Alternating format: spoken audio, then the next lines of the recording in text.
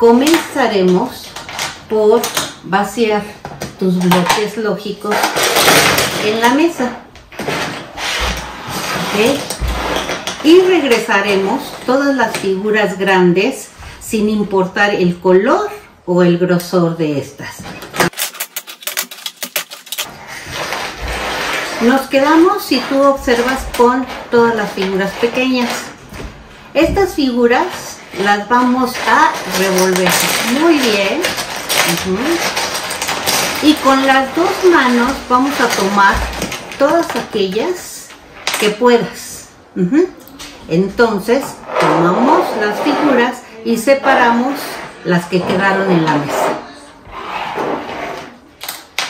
Aquí ya tenemos todas las figuras que alcanzamos a tomar con las dos manos. Bien, ahora vamos a organizar cuántas figuras tenemos de cada una. Ahora, en una hoja como esta, vamos a registrar precisamente los datos de las figuras que alcanzamos a tomar. Aquí tenemos en esta parte el dibujo de las figuras que son el triángulo, el cuadrado, el rectángulo, el hexágono y el círculo. Y aquí tenemos el número de figuras que alcanzamos a tomar. Cada casilla representa el número de figuras que tomamos, por ejemplo, de esta que es el triángulo. Vamos a ver, ¿sí?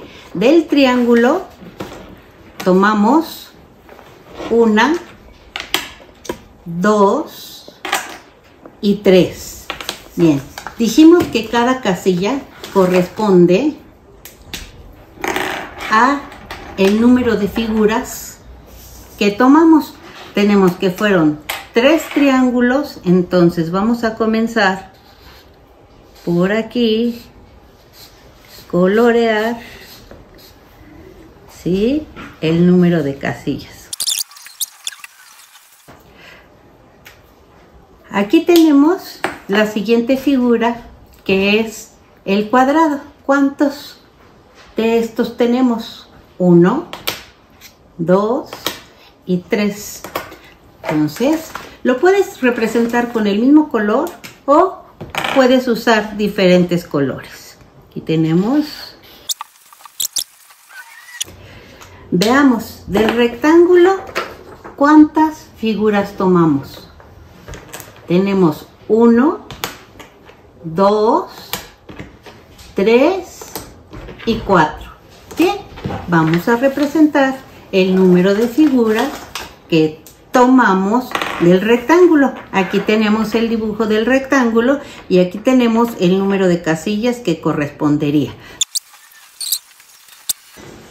Bien, veamos ahora el hexágono. Del hexágono, del hexágono tomamos una, dos y tres figuras.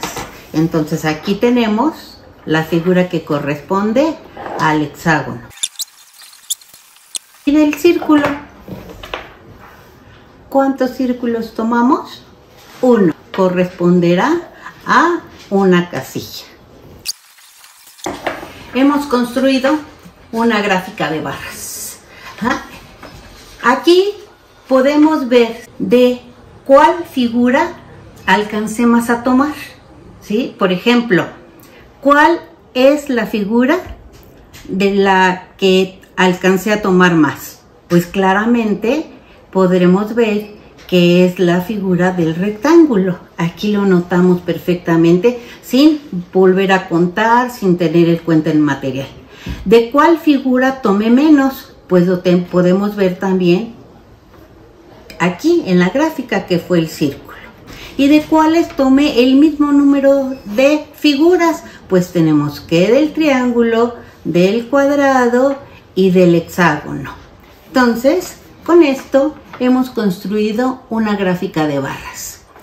Actividades como esta las podrás, encontrar en tus libros de taller de matemáticas.